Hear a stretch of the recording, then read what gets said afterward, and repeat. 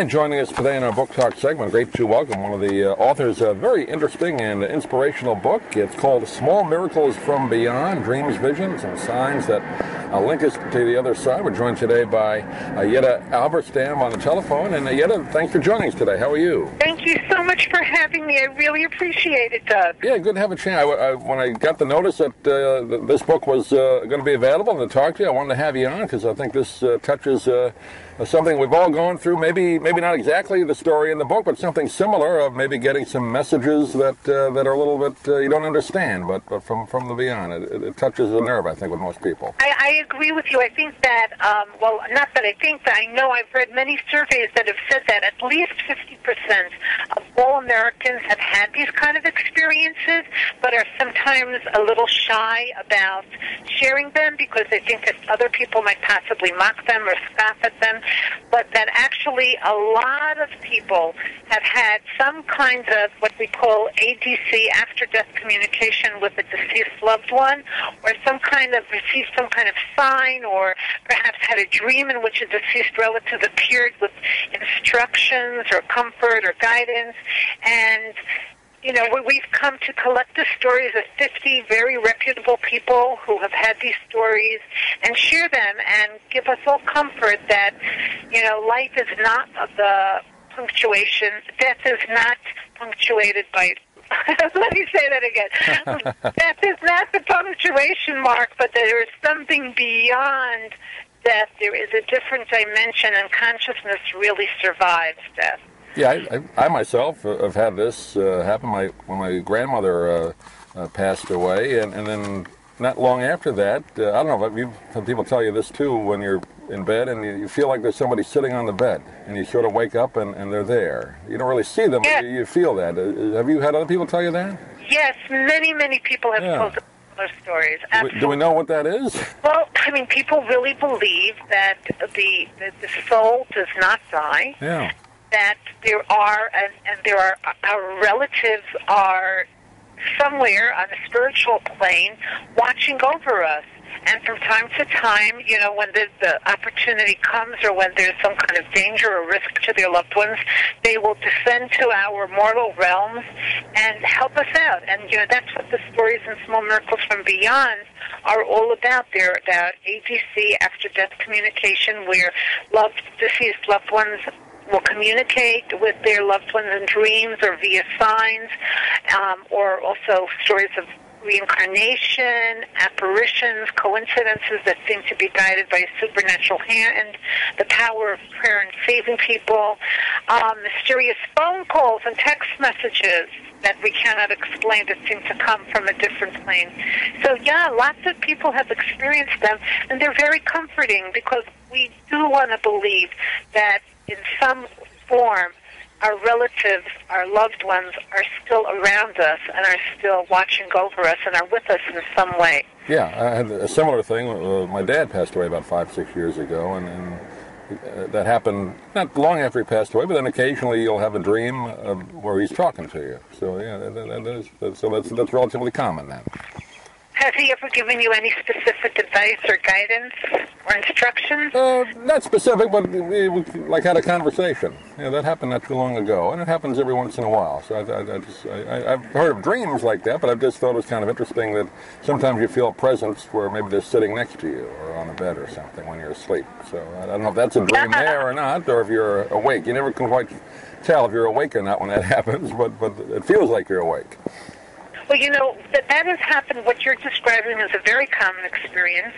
Um, some of the stories in Small Miracles from Beyond are actually um, go a little beyond that. Like, for example, we have a story of a woman who was um, in a concentration camp, and her mother came to her in a right. dream yeah, and told her that she would sur- that she would survive this rebellion at the camp called Sobibor, and she told her exactly where to go when she would be out in the woods. She took her in the dream by hand, and they flew over the, you know, they flew over the concentration camp, and they, they landed in a barn, And the mother said, go up to the, the hayloft and stay there, and that's where you're going to survive until the end of the war. And the woman followed her mother's instructions precisely to the T, and she did find the barn. It belonged to a uh, Gentile friend of her father's from before the war. Took her five days to walk there. And when she got there, her brother, who she thought had died already during the Holocaust, there he was in the same barn. Mm, yeah. Now, that's not something you can make up. I mean, you could say wish fulfillment, you can say your unconscious is tapping into something, but these were specific instructions, and she followed them, and her life was saved. You know, what can you say to that? And, and it has happened to so many people that it would be hard to believe that uh, that there's nothing to it. If there's one or two people, you might say, okay, they, they dreamt that, but you say hundreds have you gotten, and I'm sure it's thousands of millions of people have had something similar happen to them. Sure, there are tons of books out right now that are topping the New York Times bestseller list about near-death experiences.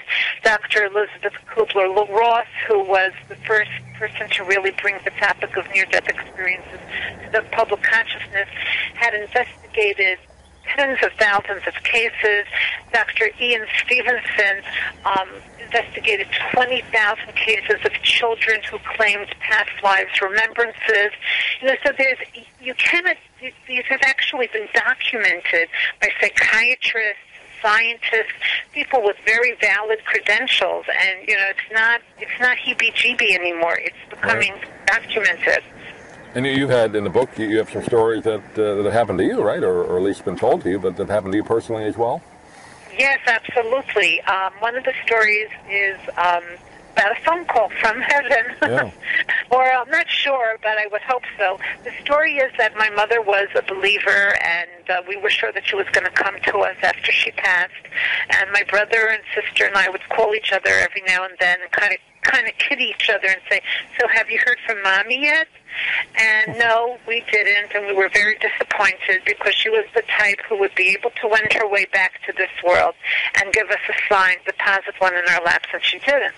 So one day, about eight years after she died, I kind of just spoke out loud, humorously, and and said, "Ma, come on, it's time. I want to see a sign from you. Come on. And um, nothing happened, no bolts of lightning, no flare of fireworks. But that night, at about 12 o'clock at night, the phone rang, and I picked it up, and I just heard static.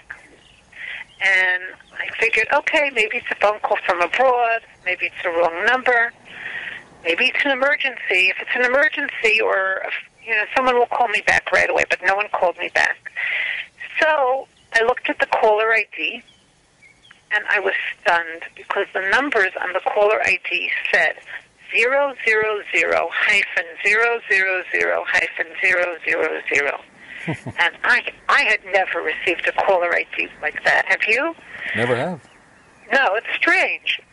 So I got very excited, right, because I'm mystically inclined. My husband comes home and I tell him.